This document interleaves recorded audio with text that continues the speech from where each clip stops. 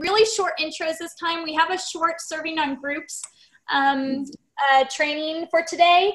And then I have some updates um, with our genetic scholarship being at the top of that list. Um, and then I wanted to talk about some, hi Jen, thanks for joining us. Um, I wanted to talk about some ideas that came out of the Colorado Consumer Call this week um, and some brainstorming on that and have some time at the end for discussion. So we will get started and um, I'll introduce myself. I'm Christy Weiss. Uh, I'm the um, Consumer Engagement Director for Mountain States and the Social Media Coordinator here at Mountain States. And um, the question I wanted to see if everybody would answer as we're introducing ourselves is Are you in the Genetic Ambassador Facebook group?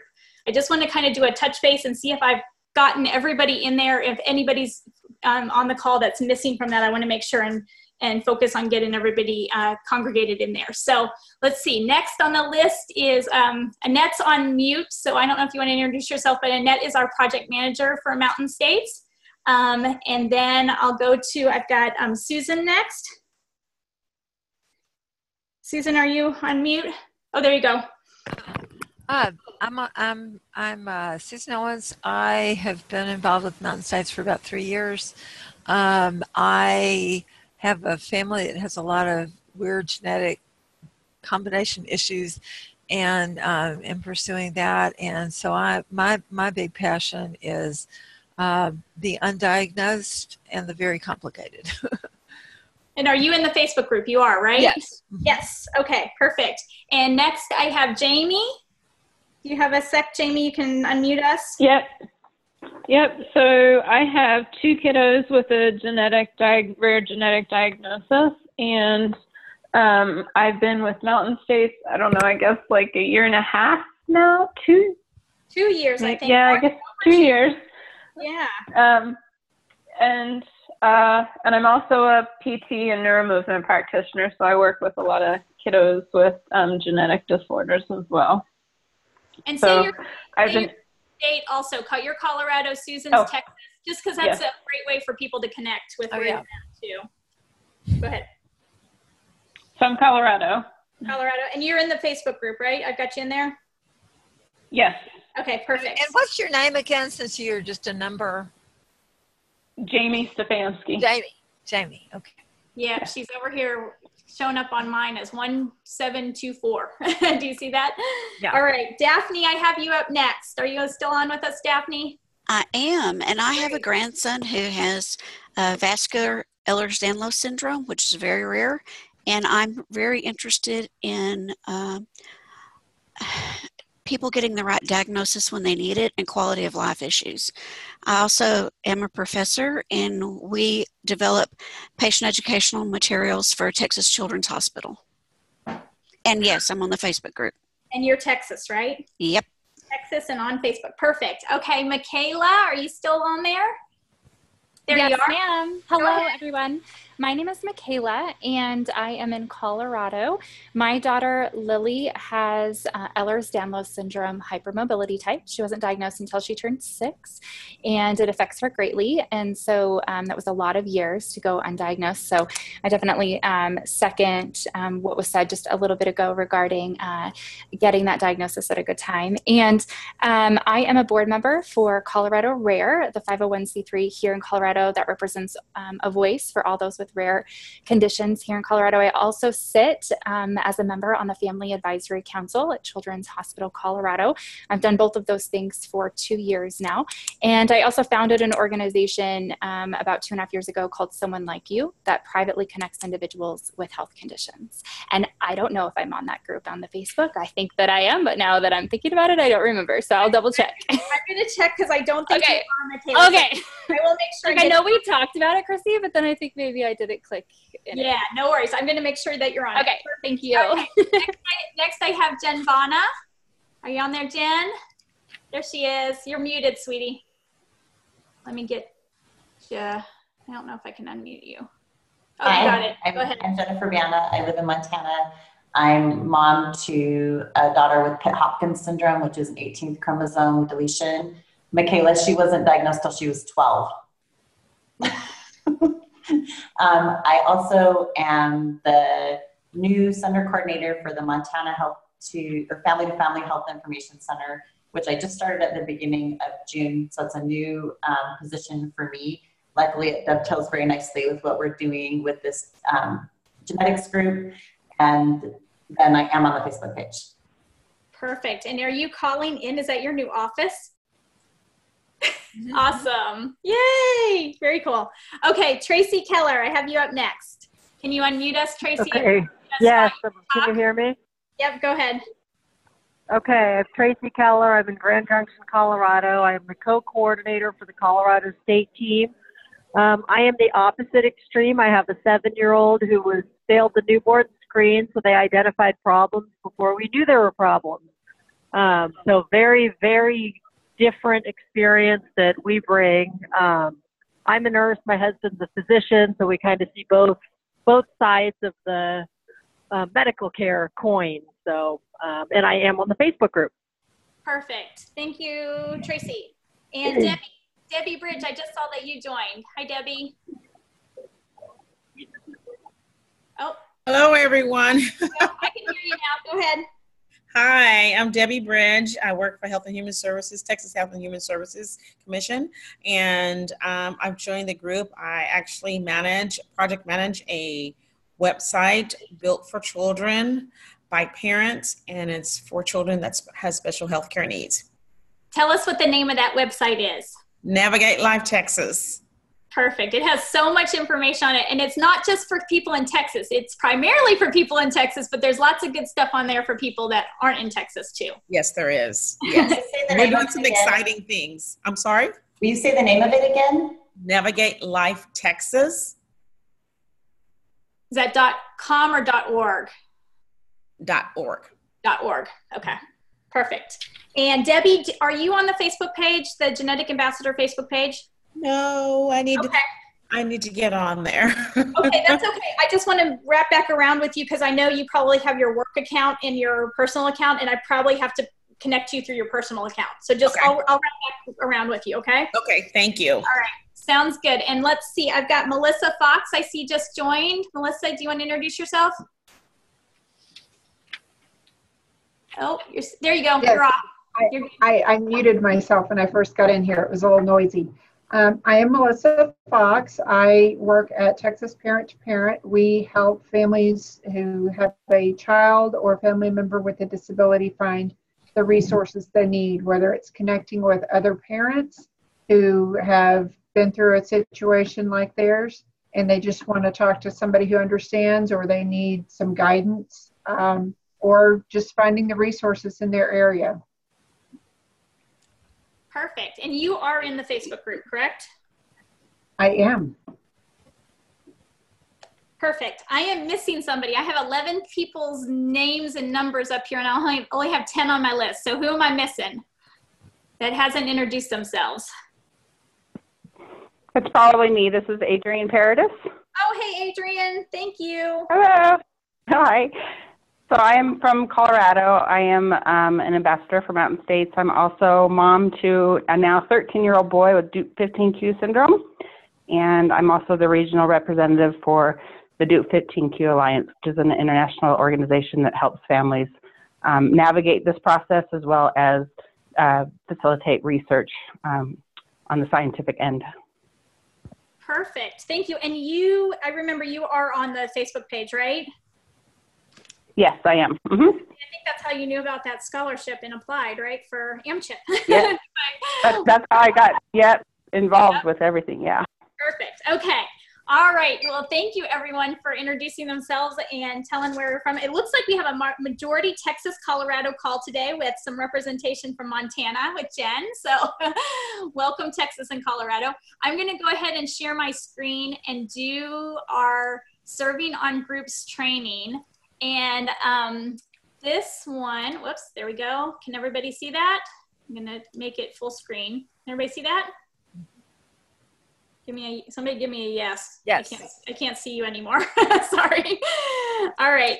This serving on groups training is section eight, and it would normally be our last um, section. However, we did a little bit of, whoops, we did a little bit of reorganization um, because we have one more session left on data And my hope is that Susan, um, who's on the call, um, did this training with me in about, gosh, it's coming up on two years ago, I guess, Susan, or a year and a half ago. Um, I'm hoping that um, her schedule will allow for her to help me with that in July.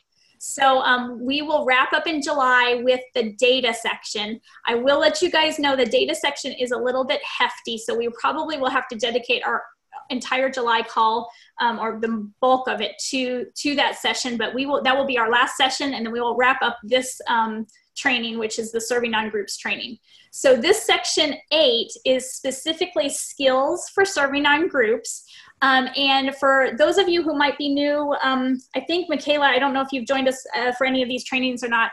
This um, training came out of Wisconsin. And at the bottom of the screen there, you can see the, their little logo, the, the Wisconsin Facets program. We started this training at our genetic summit last year, and we had guidebooks for everybody. So if there's anybody that's joining us on the call, Michaela or anyone else um, that wasn't at the genetic summit and would like a guidebook, we still have a couple left of those. And the way you can get one is just to email myself or Annette, and we can um, mail one to you directly. And the guidebook's really great because it's like a condensed version of uh, so it's kind of the highlights of all the training and it has different tabs for each different section that we've gone over. The other thing I want to let you guys know is if you've missed any of these, we have been recording them and they've been archived on the Mountain States website and I will show you where you can find that um, when we switch gears over to talk about Mountain State stuff.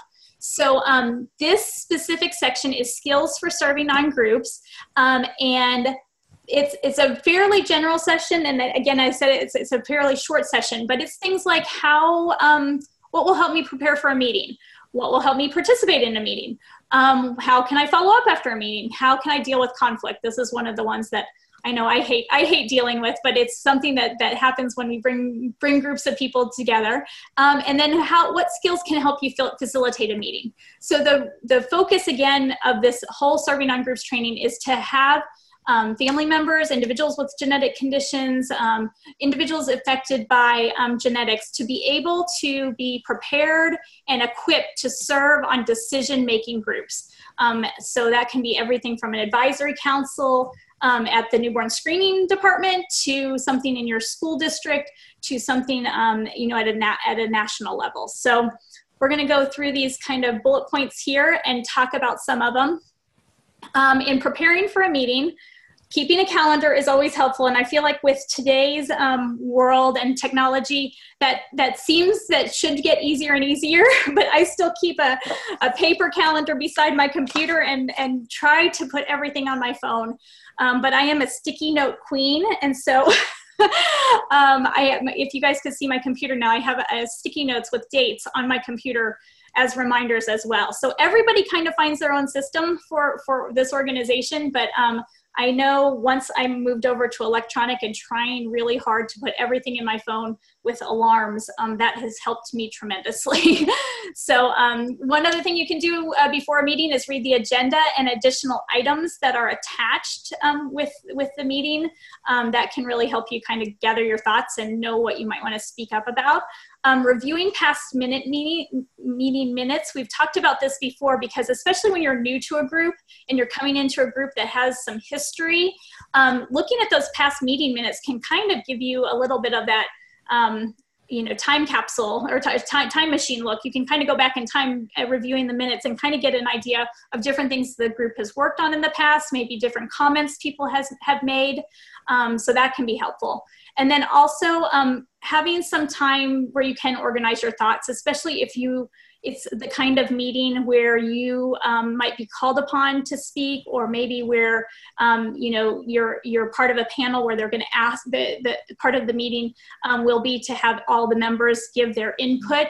Um, so having a chance to kind of jot down some notes can be helpful and as always i think this is the the golden rule in life right is to keep learning is to never reach that point where where where we're done learning um, especially in in group settings um, so the next next section here is uh, some sk- some skills for participating in a meeting.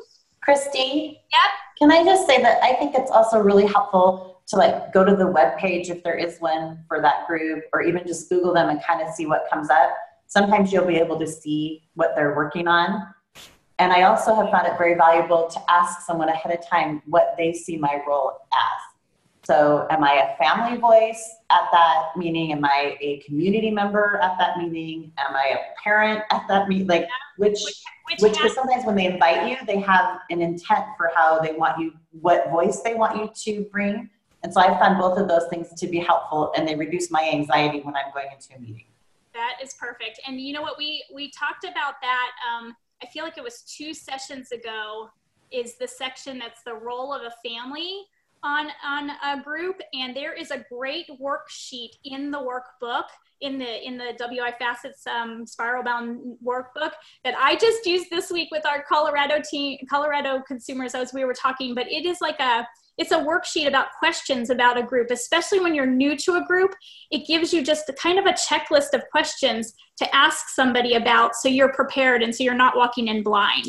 Um, it's a great, I don't have it in front of me, but it's a great um, tool that you can use. And I agree with you 100% about knowing your role because many many of us we can just tell from the introductions wear many hats. We are parents we are advisory council members we are you know debbie's um, uh, employed by the state you're employed by a, a, a federal grant. Like there, we wear so many hats that sometimes it's it's hard to take those off and take those on. So knowing what role they want you to play on the group can help put that right hat on before you walk in the door. So thanks jen. That was that was great. Appreciate it um, and then, so these are these are um, some skills for participating in the meeting. Um, attending all of meetings is great, right? You, you get a star if you get 100% attendance, but um, but if you're unable to attend, and this uh, this is something to know before you join a group is is kind of their attendance expectations and especially with us um, with children with special health care needs or being an individual with special health care needs we know that sometimes um, things come up out of our control. So um, making them aware of that before joining the group can be helpful as well. But especially if you can't enjoy, attend a meeting, let the leader know ahead of time. Make sure to get those notes or meeting minutes afterwards so you can try to fill in the, the gaps of what you missed. Um, taking and keeping your own notes can be helpful. Um, usually formalized groups have some type of mechanism for for keeping minutes and and that's assigned to somebody but having your own set of notes can be helpful especially when there's any discrepancy or the minutes might not make sense to you. Um, learning the lingo we're going to talk about this uh, in a little bit about um, things like acronyms and alphabet soup um, but that can be really helpful. And this is the part where i stress to families because I, I feel like i was caught in this trap um, in my early days of walking this journey um, is do not be afraid to stop someone and ask if you do not know what they are referring to, especially if they are using an acronym. Um, we we oftentimes forget that others might not know um, what NIH means or what WES, whole exome sequencing means. And so it's okay to stop and, and you should never feel um, like you're putting anyone out by stopping and asking the lingo um, or clarification on the lingo. Um, trying new roles, what this is referring to is if the group um, switches off, you know, maybe somebody's a timekeeper, somebody's a note taker, um, you know, be flexible and, and, and um, volunteering for some of those roles. Um, being a mentor can be a great way to, um, after you've been in a group for a while, to uh, give you a new challenge, right? And, and kind of take under your wing somebody maybe new that's coming into the group and be that, be that translator for them and uh, help them navigate that. And of course, this kind of goes without saying, um, listen for understanding. We have to have to not always be the one speaking out in the group, but we also have to listen to others' other opinions. And then this is the follow-up, um, some skills and tips for following up after a meeting. Um, those notes can come in really handy um, to remind yourself. I know I've gotten in the habit of circling or starring things that I have to do after the meeting when I'm writing my notes so they pop off the page at me.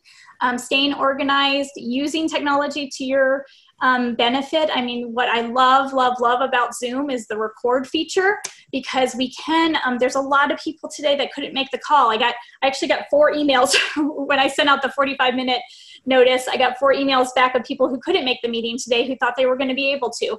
Um, but I was able to tell them, hey, no worries, we've got it. It's going to be recorded. You can catch it later. So using technology to your benefit can can really be helpful. Um, review written guidance that can be things like the bylaws um, that can be those minutes and things like that but, but, but different things that are in writing and um, have been formulated for the group and um, you know take a little time to reflect on what you learned. Um, connecting with a mentor can be great. Um, this um, this specific training was um, presented by family voices. Um, and so this this other uh, bullet point here about touching base with a family organization or a family voices or family to family health information center or a parent to parent chapter in your state can be helpful if if you have any questions. A lot of those, a lot of those um, organizations are involved in in putting parent leaders in decision-making groups, and so they're always happy to help.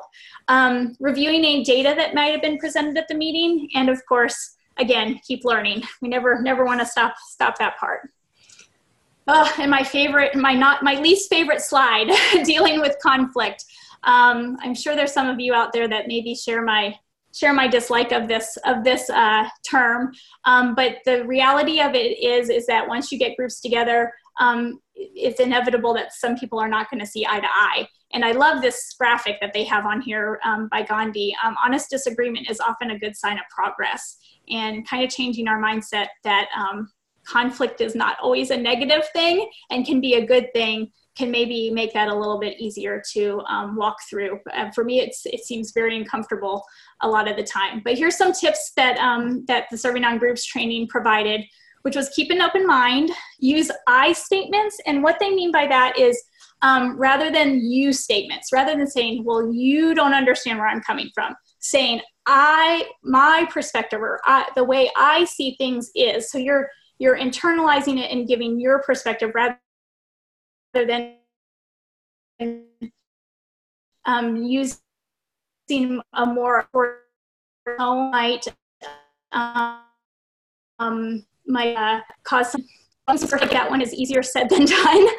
Um, uh, but um, it, it is true. To going in and, and removing that personal connection um, with the topic, um, even though that's very hard to do when we are wearing our parent hat, um, realizing that maybe on some of these groups, we're not there representing our child we are there representing a group of people who have a group of children that have special health care needs. And so so not taking standing up for the whole group's um, opinion rather than our, our child's can remove us from that from that taking that super pers- personal um, offense to anything um, asking questions, always, always important, but I think sometimes hard for families to do in group situations. So um, I think that takes some work to get comfortable um, when you're when you know people better in the group, and you when you've been in the group after a little while, you might feel more comfortable asking questions.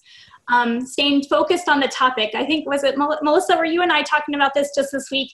Um, referring back to the agenda. Sometimes, sometimes I feel that some conflicts in groups can arise when somebody takes over the stage. Have you ever been in a group where somebody decides that they're going to talk the whole group and really um, throws off the agenda? And so um, things like saying, you know, let's put that on hold or let's let's put that in the parking lot um, and or we have an other category on the agenda how about we talk about that that that then and then focusing everybody back on the topic um, i think can avoid some of those situations Mm-hmm. Um, focus on solutions, not the problem. And if you find yourself beca- becoming emotional, um, feeling that personal personal um, attack, um, taking a break and removing yourself from the room, or saying you need to use the restroom, or something like that, can kind of give it's kind of that uh, you know five, four, three, two, one countdown, and, and take a deep breath. That can help, and then re- regroup with the group, or you know rejoin the group. And then always remembering the group's purpose um, can be helpful in, in avoiding that conflict as well. Um, for resolving conflict, um, there are some tips that they are providing um, here as far as um, paying attention to the interests of the individuals in the group um, and and um, honoring those interests, right? Even, even everybody, everyone loves a compliment. Everyone loves um, to have the spotlight sometimes sh- shown on them in a positive way. And so paying attention to what p- different group members' interests are and, and highlighting those can be helpful. Um, listening first and talking second. I think this is hard for some people. Um, I know um, sometimes we want to jump in and, and, clarify, but sometimes just stopping and listening to the other person um, can can give you that aha moment of where they're coming from. Um, good relationships are a priority, especially when you're doing group work. Um, and trying to keep people and the problems separated and not uh, attacking or not not attaching the, the person with the problem um, can can help with that resolution. Uh, looking for facts by using the the who, what, when, where, why uh, questions and focusing your your line of questioning on those can help versus the um, sometimes conflicts arise when we when we uh, uh, are, are not in a factual situation where we're more in a uh, hearsay or a, uh, a subjective um, type of discussion, and then exploring options together. Um, so this last slide is um, some common strategies for good facilitation. And facilitating a meeting um, you know the different meetings look different groups run different ways. Sometimes you know you might have a chairperson facilitating a meeting and that person runs the whole meeting. Sometimes you might have um, different sections of the agenda run by different people. Um, sometimes you might be facilitating the meeting or you might be um, uh, called on to facilitate a portion of the meeting um, and so see that these are just some strategies to, if you are in that position of a facilitator, of how you can be a good one. Um, making everyone feel comfortable, welcome, and valued is really important, um, especially when it's a new group coming together and no one knows each other. I know we experienced this with Mountain States when we went came into this grant cycle and we formed the state teams. That was a brand new concept for Mountain States, and no one had been in that structure before together on teams like that. And so making sure that um, you know, it took a number of calls till everybody got to know who who was there and who was who was who who everyone was. But making everybody feel comfortable, welcome, and valued can really go a long way. Um, encouraging participation, especially again when a, a, new group forms. Sometimes people are very timid um, because they don't know anyone and they don't have any allies. They don't know they don't have any friends. They, they you know you're on a conference call and everybody's voice is foreign to you. So encourage calling people, not calling people out, but calling on people to encourage them. Hey, Melissa, do you have any any suggestions? Hey, Michaela, what what, what do you think about this? Can can help people feel comfortable. Um, preventing and managing conflict. Again, we talked about that already, but a good facilitator is aware of that, um, kind of maybe senses that, and tries to manage that. Um, good facilitators also listen and observe. Again picking up any of those cues for the, the conflicts or or encourage you know finding out or being aware of who might not be participating to help help that. Um, a good facilitator also clarifies group discussions. And i think this i've seen this happen a lot on our state teams in a really great way where some of our group leaders or facilitators will say now if i think i am understanding this correctly this is what I'm hearing and kind of restates. It's called, you know it's it's the, it's the skill of restating um, what has been said to just clarify that that um, for others on the call. Um, a good facilitator also supports quality decisions and um, ensures outcome-based meetings. So outcome-based meetings, um, what that what that looks like is usually some type of data gathering, and that's why uh, the next section will be focused on data because that can be a huge piece of outcomes. How are you going to measure what the group actually did? How are we going to actually know if we accomplished what we set out to do? Usually, there's some type of measurement involved in that. Um, both both sub both um, what do I want to say? Data-driven measurement um, and also um, uh, measurement that can come from interviews or from surveys and things like that. Um, and then last but not least, a good, good facilitator recognizes and appreciates contributions. So that's where you get to play the uh, role of the cheerleader and patting everyone on the back, giving high fives, um, and, and recognizing people's contributions. So this last slide is our resources slide. And what I wanna do is shift gears real quickly here because one of these, um, hang on, give me a second. One of these, there we go, stop share, um, resources is a video called Forming, Storming, Norming, and Performing. And it's a real short video. It's only like two minutes long. So I'm going to share my screen. We, we did a trial run earlier, and that helped me out. And um, the vol I've got the volumes all up. So I'm going to play this video. It's real short, but it's really, it's really a great video on the different stages that teams and groups go through. So I'm going to play it and let me know if you can hear it.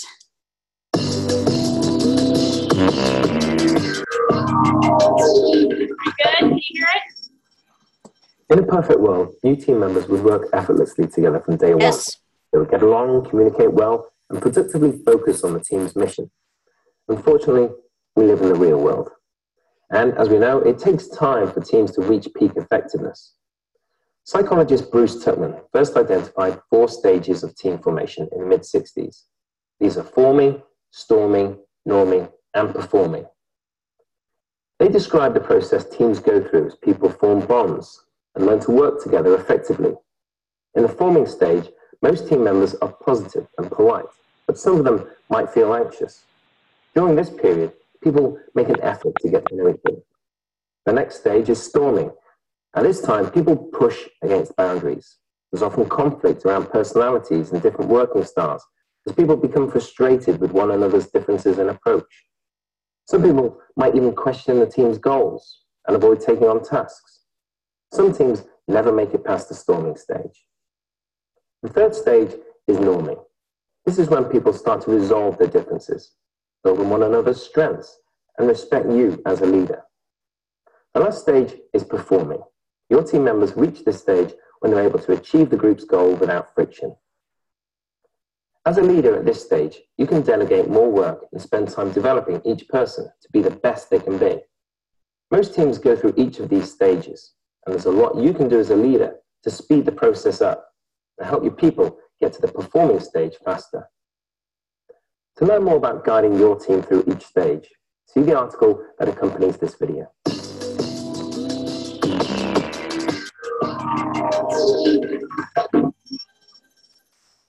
Give me a second, let me put it. All it takes is one idea on how to change the way you see the world, to change your world. Robin is one of the greatest personal growth authors of our generation. Sorry, give me a second. I'm trying to find it. Genius is less about genetics and it's There we go. Did everybody hear that? Was everybody able to see that? Okay, what'd you think? Give me some feedback. I thought it was I thought it was a great video, but I would love to hear your feedback. Has anybody ever seen that before?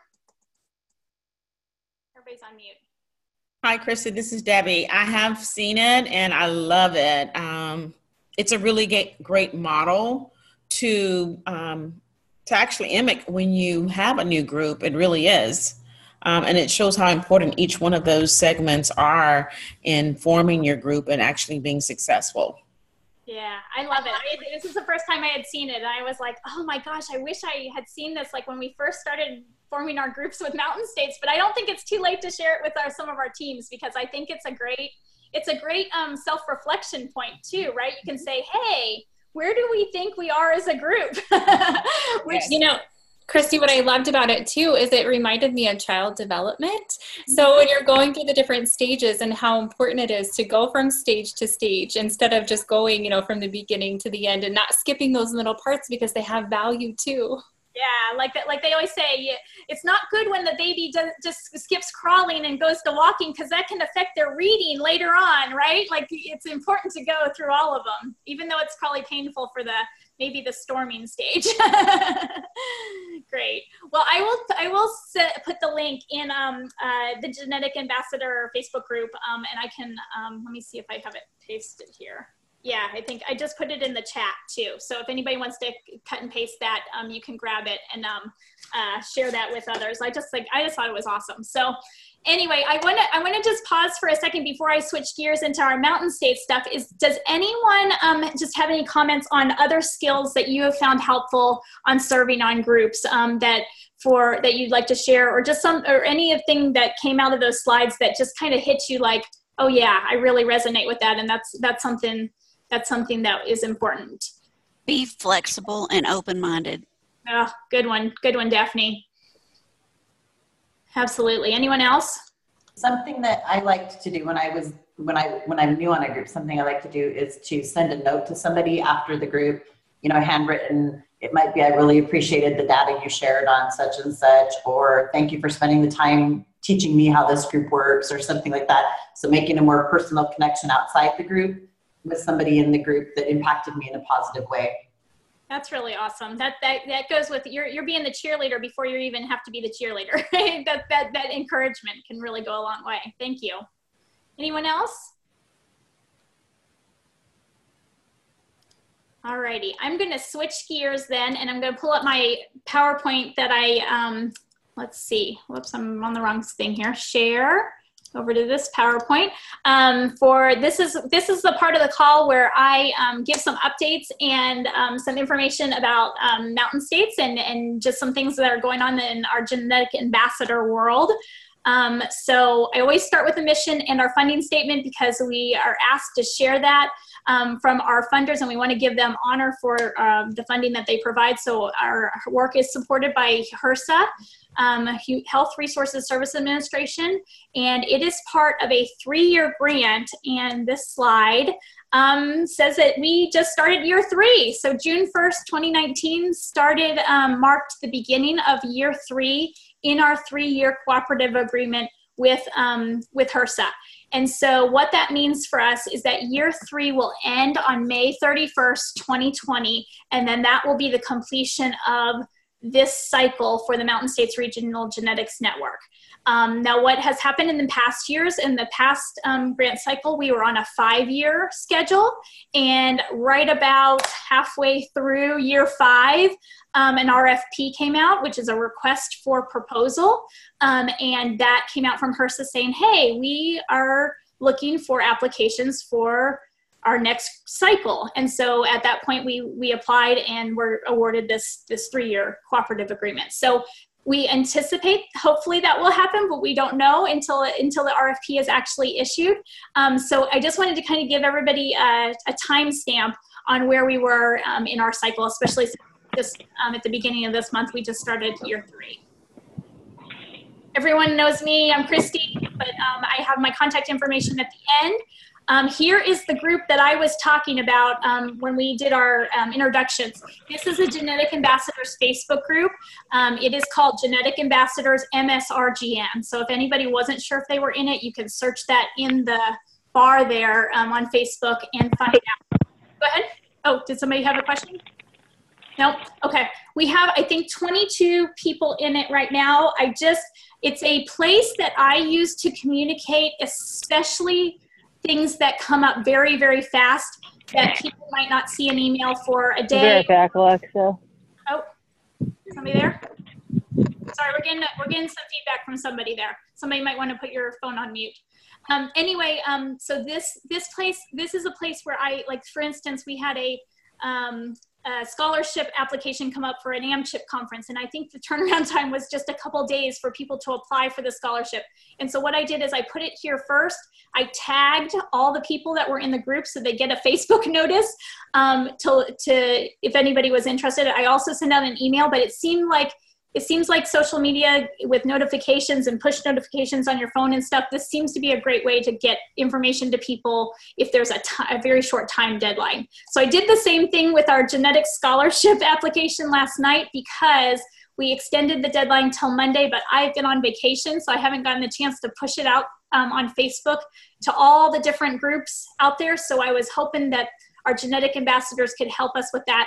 Um, and so that's that's what i did last night. Um, most of you have been on these calls before. Our genetic ambassador program is open to any consumer, parent, family member, individual with genetic conditions or who are impacted by genetic conditions living in our region. And these are the states in our region. So if you know anyone that wants to get involved some way um, with Mountain States, please, please let me know and we can um, have them join these calls and um, get them involved. Um, but one of the greatest ways to get um, uh, new consumers involved, I think, is our genetic summit and our um, scholarship application. Um, I know, let's see, who's on here? Um, Adrian, that's how you got involved with Mountain States, I think, right? You came as a scholarship winner last year. Um, and I know a couple of other genetic ambassadors have been connected with us in that way.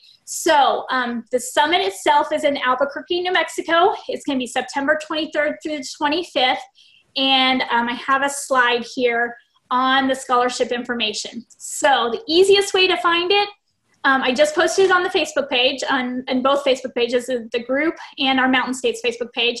But if you go to the Mountain States website, which is mountainstatesgenetics.org, under the news tab, there is an article about it with the link directly to the scholarship.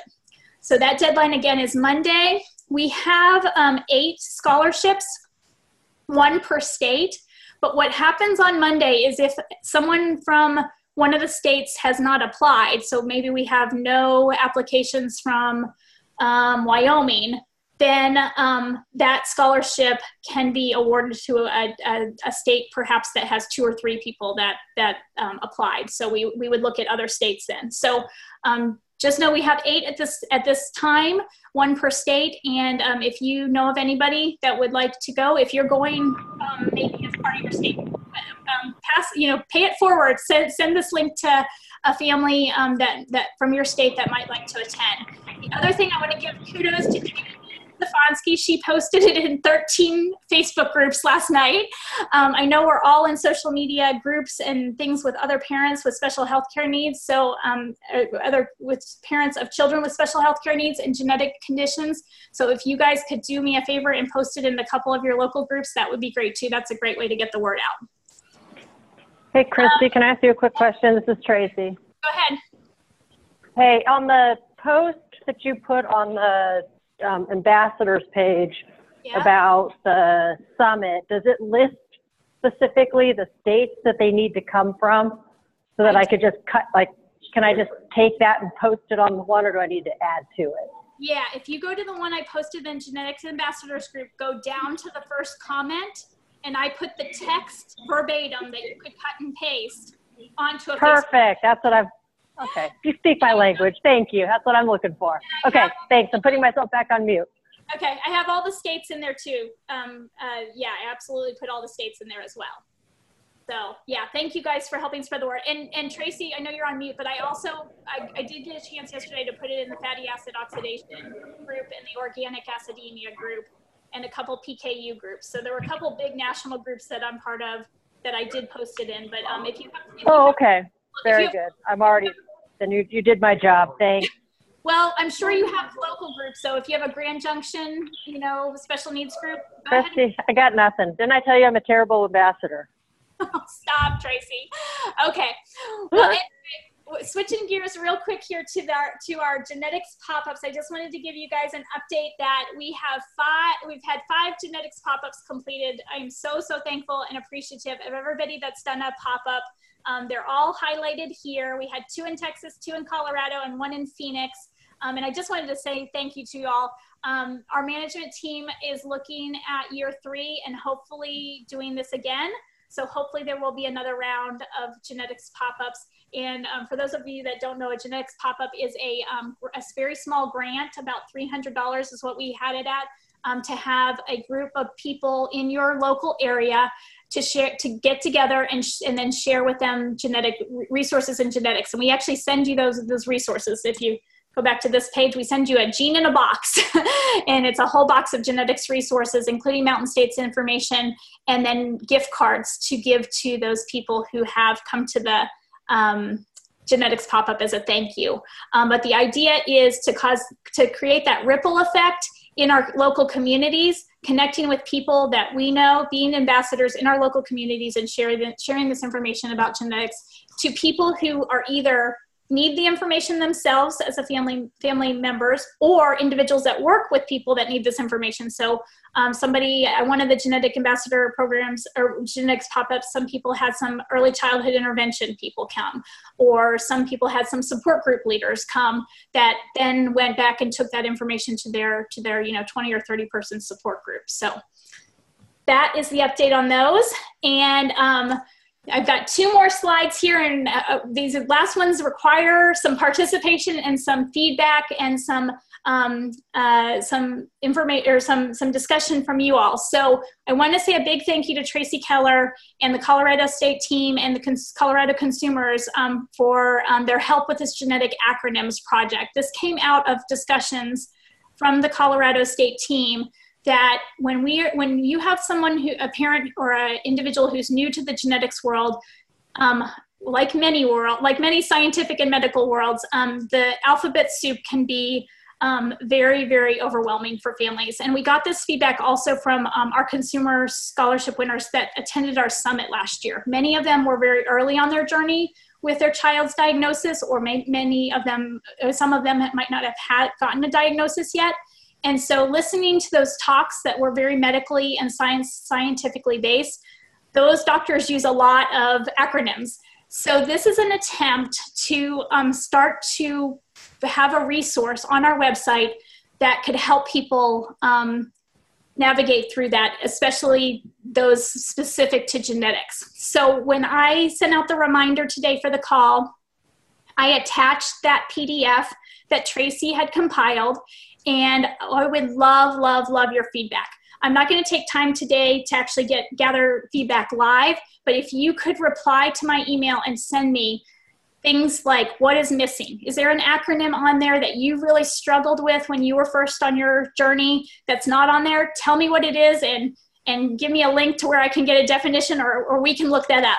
Um, and then um, if you can look at the look at the resource resource with, with um, uh, new eyes and say is this helpful if you can put yourself back into those early days is would this be helpful for a new family member, a new individual that's trying to navigate the genetics world. So if you guys could do that for me, I would greatly appreciate it. It's only a page and a half, so it should not take a whole lot of look through. And it's it's things like AAP is the American Academy of Pediatrics, NIH is National Institutes of Health, WES is whole exome sequencing. It's things that come up over and over and over in the genetics world. But I'm sure there's some things missing that might be important to you. So please let me know. Go ahead, yes, Christy. Can I just can I just add that I just want to tell everybody that this is Tracy, and I do know that we have I have intentionally left off variant of unknown significance because we are working on we're we're getting a joint effort from the um, multiple members to get the best definition out there because it is the one that comes up the most in all of the genetics before diagnosis, during diagnosis, after diagnosis. So that one is being worked on. I just wanted everyone to know it was intentionally left off for that reason. Perfect. Thank you for that reminder, Tracy. And, and, and we, you and I had talked about linking back to our resource that Mountain States had come up with explaining variant of unknown significant in layman's terms for families. So we can even, we, we can do that in addition to the definition that you guys come up with. So thank you. And thank you so much for your work on that, Tracy. I appreciate it. Sure thing. Okay. So last but not least, um, a few i had a call with few, a few of the colorado consumers um, this week um, and um, there was a great discussion about um, bringing people together not just from um, like for instance this, this calls very heavily colorado and texas. We have more more consumers in our region than can fit on our state teams. And so the genetics ambassador um, calls were developed and the program was developed. So there was a place for for consumers to get together and and make a difference and make an impact and get training and get and, and talk about advocacy. And so the, a few of the colorado consumers suggested adding something to the genetic ambassador calls which are the call that we're on right now um, a time to share upcoming, upcoming state regional and national events and possibly even keeping a master calendar of those events or newsletter or some other way to communicate monthly upcoming events and that would be both again those things that are happening in your state level maybe something that's regional. For instance the colorado um, group just had rare on the road come to colorado and that was done by global genes i believe. Um, and then there might be national events as well. So um, my question to you all um, would be um, as I was, I was as I was taking their feedback and looking at the structure of our genetic ambassador calls, I'm wondering if we might need a little bit slightly longer call to accommodate this.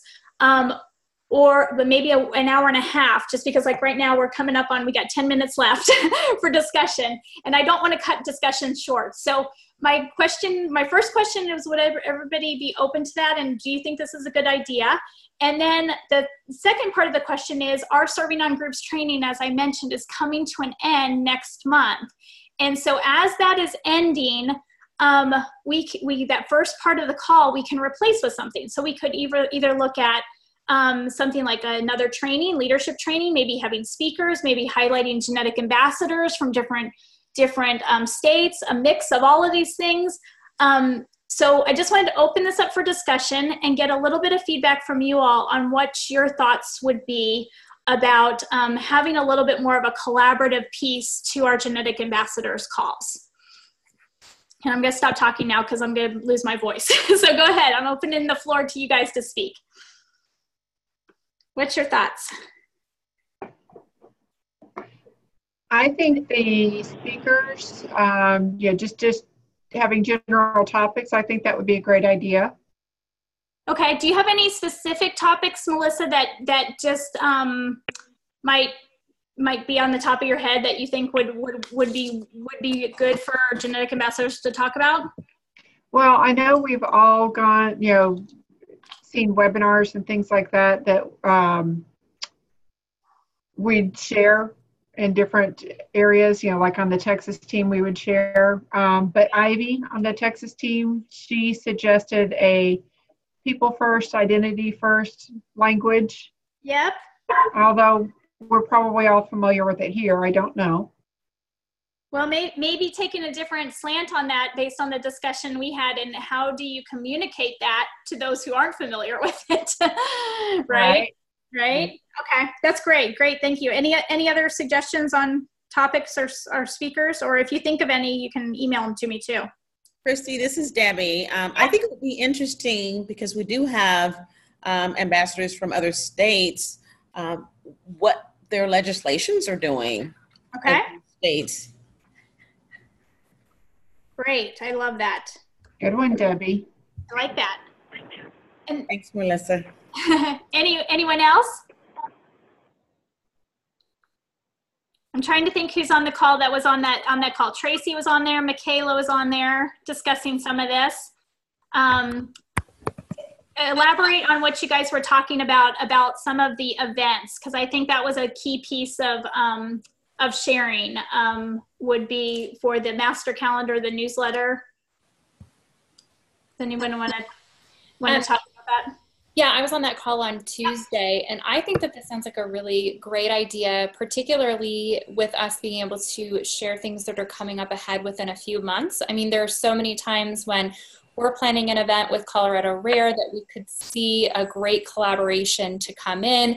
And, you know, there's always so many different things going on um, that maybe we would think of other organizations to contact, um, but then maybe that doesn't happen. So I think that if there was this specific collaboration going on, then we could really do a better job at keeping connected with all the upcoming events and really support each other. And, you know, because I think that we could say something and maybe not someone on the call per se would be someone that would want to be involved the in the event, but maybe another group that they work with, or vice versa. And I just think that we could really help each other out a lot better. I like that a lot, and I and I had suggested so so we are we already do our newsletter for Mountain States, um, but I could go back to our um, management team and just see if we could carve out a little section of that, um, you know, for families around our region, maybe highlighting some of that um, monthly, because that that um, newsletter also goes out to practitioners and um, geneticists and primary care physicians, and so the idea mean being that you know there might be some individuals in their practice that these these events might be um, applicable for as well, um, and then using these calls maybe to have a calendar to populate that information, right? To have the discussions on on here, like, okay, we're looking maybe looking three months ahead. You know, maybe we're looking at a three month window, like, okay, going on in July, August, and September coming up, and does anybody know of any genetic events that would um, would interest um, both genetic ambassadors and other families in our region? So so here, here's something we could do. We could either we could either keep the call at an hour and then just use the um, use the use the first part of it to be a speaker or some type of mm-hmm. training or some type of mm-hmm. highlight, and the last mm-hmm. part of it to be this collaboration. Oh, hang on, we're getting a little bit of feedback. Sorry. Um, and or we could extend the call a little bit just to give us a little bit more time to talk. So I want to be very cognizant of everybody's time. Um, so I don't know if an hour and a half is too long to dedicate once a month for that, or if we really to an hour. So your feedback on that as well. Anybody have any thoughts on that? I think as long as it's not more often than once a month, an hour and a half was reasonable. Okay. I agree, Michaela. Okay. Reasonable. Okay. Yeah, I, I, have only been doing these once a month, and I think it seems I, I haven't felt or gotten any feedback from anybody that they need to be any more frequent than that. Um, but um, um, you, you guys let me know if that if it seems to seems to work um, once a month, then we can keep it at that, and maybe look at an hour and a half, giving us a little bit more time for for some options, um, some legislative highlights, a speaker maybe, and then some time to actually share what what we're doing in the groups that you were serving in and and the organizations that we're that we're working with. I think that would be great. Does that sound good for everyone? Yes. Yes. Okay i got a yes. Anybody else? Any any should i say any nays? Anyone say no? All right i hear no no's.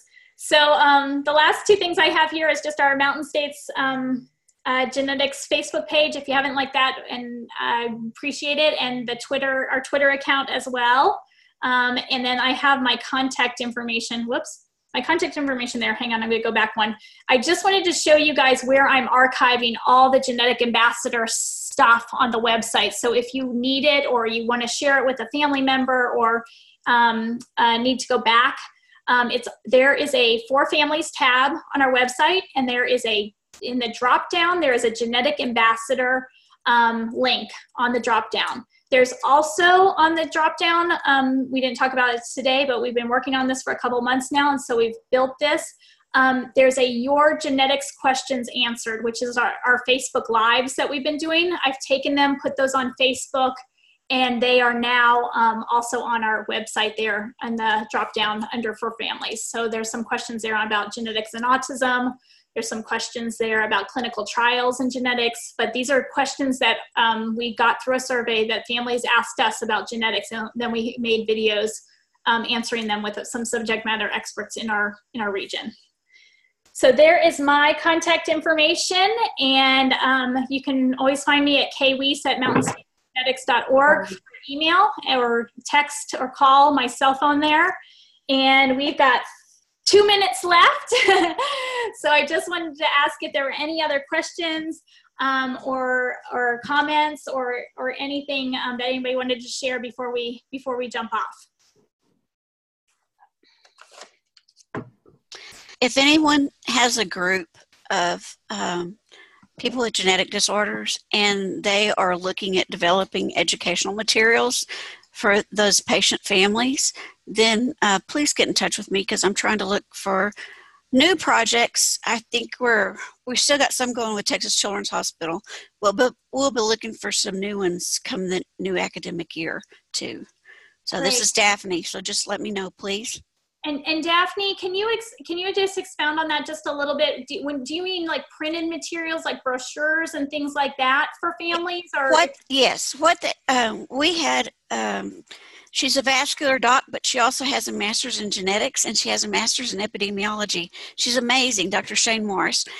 Ask ask us to develop some materials that are just handouts, sort of, that she could hand her patients when certain events happened. Say they had a, a bowel rupture, or just to know what a genetic a genetic, mutation is. Very basically, sharing information. And there's a pneumothorax. There's a, um, well, of course, we're working with vascular EDS, so the it's the more vascular things.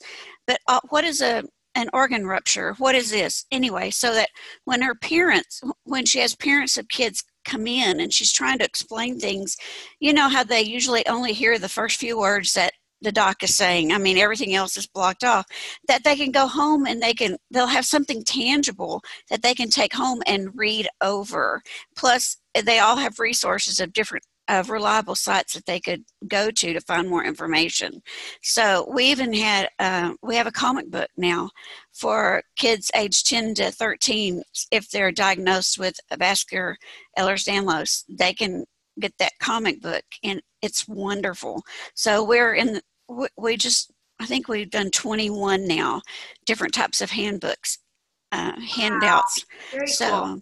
Yeah, and after they get through with with our my class, then they go to the Spanish department, and uh, we have a bilingual health degree, and so then they're translated into Spanish. So awesome. It, are those available anywhere um, other than Texas Children's, or is that kind of like an internal thing with Texas Children's? Oh no, they're they're they're um, we we did them so they, they're actually used even in the UK. Oh wow! And so they're they're really used about, just about all over the world. So would no. You, would, would you be willing, like in the genetic ambassadors groups, to start a thread and share some of the links just so people could see them? Sure. We we we don't have them posted, but we've oh, been thinking about. Now we've been thinking about posting them. So uh, give me give me time to sweet talk our dean into that. Okay, no worries. Well, finish up your grades first, and then and then yeah. maybe that's a later summer project. yeah, really. All right, thanks, Daphne. But I'm guessing if anybody's on the call is interested, they could email you directly or contact contact me to get your email address, and then I can connect you, and then you can maybe share with them a PDF or something as an example, right? Yeah. Okay. Yeah. Perfect. All right, everyone, it's 301. I'm going to sign off here. It was so great to see you all. I've got um, on my to do list Michaela and Debbie for the Facebook group, so I will work on that. Um, and I appreciate you all. Have a great July 4th holiday and look for an email from me about um, setting up our July call to talk about data. All right. And Susan, hopefully you'll be able to join us to present that. So thank you, everyone. Have a great day. Talk to you soon. Bye. Bye-bye. Bye, Chrissy. Bye-bye. Thanks.